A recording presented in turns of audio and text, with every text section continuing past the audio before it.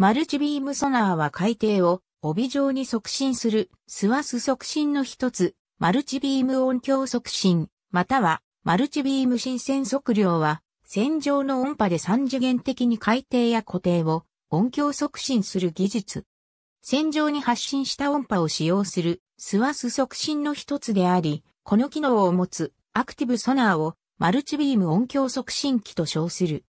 一本の音波ビームのみを使用する。古典的な音響促進機と比較して多数の音波を面的に発信して一度で広範囲をより正確に計測することが可能であり、高精度な新鮮計測を行う手法として最も普及している。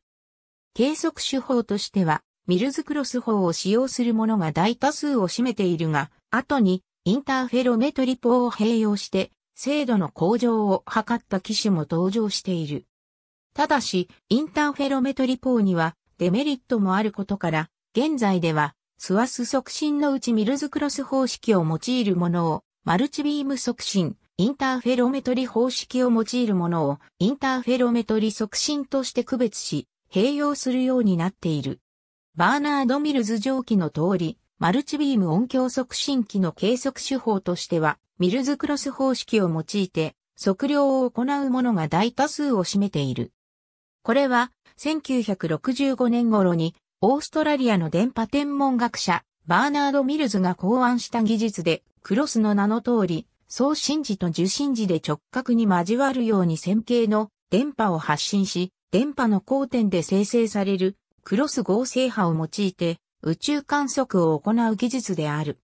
当初はクロスファンビーム方式と称されていたが、後に元の考案者名を尊重してミルズクロス方式と称されるようになった。ミルズクロス方式を用いた音響促進機では、まず左右に幅広く前後に狭い線形の音波ビームを照射し、これが海底、固定で反射して戻ってくるものを左右に狭く前後方向に幅広いスリットを通じて受け波する。この結果、音波の当たった水底のうち、樹波スリットの中に捉えられた部分のみのエコーを得ることができ、両者がクロス合成された部分の鋭い音響ビームで水底を調べたことになる。樹波、ファンビームを多数並べるものがマルチビーム音響促進機であり、総波器、樹波器をアレイとして配列してビームフォーミングを行っている。樹波器アレイの形状としては、古典的にはフラットな線配列が用いられてきた。これはビームステアリング角が大きい方向だとビーム幅が広がるという欠点はあるが、重波器の直線配列加工が精密に行え、高速フーリエ変換を使って多数のマルチビームフォーミングを簡単に行えるという利点がある。一方、円配列では、すべての方向のビーム幅が一定になり、またローリングによるビーム角の揺れがローリング角と完全に一致するために正確なビームフォーミングを行えるという利点がある。また V 字アレイでは左右別々にビームフォーミングを行っており、直下方向のビーム幅は広くなるが、左右に傾けた方向に最も鋭いビームを形成し、平坦な海底においては、それらの海底に作るフットプリントを均一に近づける働きをする。しかしサークルアレイも V 字アレイも表層音速が不明であると、ビームの角度誤差が大きくなるという欠点がある。なおソナーの一般論として、周波数が高いほど分解能は向上するが、海水中での吸収損失が大きくなり、遠距離での精度が低下する。一方、周波数が低くなると分解能は低くなるが、到達性は向上する。マルチビーム音響促進機の場合、おおむね 450kHz までの機種は水深100メートルまでを計測し、200kHz は水深300メートルまで、50kHz は水深3000メートルまで、12kHz は水深1万1000メートルまで計測可能である。水深の算出にあたっては、まず各受波ビームごとに音波を発射した時から推定で反射し、受信されるまでの往復電波時間を計測する。次に、海水中の音速プロファイルを用いて、クロスビームの電波屈折解析を行い、クロス部分の推進と横距離の計測が行われる。大きい入射角や解説、干渉などの影響により、音波の照射範囲の外側では、中心と比べてデータが荒くなる一方で、それぞれの角度に対する音波の往復時間の回は一つに定まっているため、高精度での測量が可能となっている。またローリングやピッチングで船が大きく揺れても、必ずクロス上の信号が得られるというメリットもある。マルチビーム音響促進機の場合、自由な向きに多数の樹波、ファンビームを向ける技術が必要である。またローリングピッチングの影響を低減するため、双波ファンビームの向きを変えることも行われる。このように、ビームの方向を変えるビームステアリングは、双波機、重波機アレイを機械的に傾ける方法と、ビームフォーミングの際に、各素子からの信号の位相を調整して、ビームの方向を操作する方法とがある。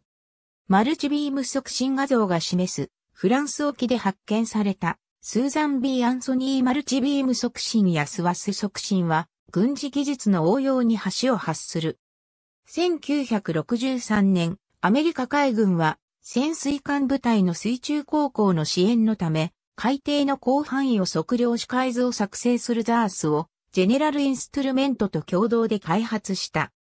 これはまず送信アレイから一同期に90本の音の側縁線を作り出し、それに波などによるローリングとピッチングに対する補正をかけ、最終的に60本の音波を 12kHz で発信して一度に60度の範囲を測量する仕組みである。まず1963年にアメリカ海軍の電子システム試験艦コンパスアイランドに搭載された後、1970年までに海洋大気庁の複数の調査船に搭載された。ジェネラルインストゥルメント社では、ザースの技術を応用した一般商用向けのシステムとして、深海域用の C ビームと旋海域用のボースントを開発した。C ビームは、まず1976年に、オーストラリア海軍の調査船、クックに、続いて1977年には、フランス国立海洋開発センターの調査船、ジャン・シャルコーに搭載された。また、日本でも、1983年に竣工した海上保安庁の測量船、拓洋を皮切りに C ビームの導入を開始したが、同船での搭載は世界的にも7番目の導入例であった。ジェネラルインストゥルメント社に続いて、ノルウェーのシムラット、西ドイツのクルップアトラス、日本のフルの電気、またソビエト連邦などでも同様のシステムが開発された。システムの構成機器のコストが低下するに伴い、マルチビーム促進機の売上と運用数が世界中で著しく増加した。小型で傾向可能なシステムは船体への取り付けにかなりの時間とコストを要する従来のシステムとは違い、小型船や栄光船での運用を可能にした。テラディンオダムハイドラグラフック製のメガバイト2のように、モーションセンサーを音響トランスデューサーに内蔵し、小型船舶への取り付けをさらに簡単に行える製品も登場している。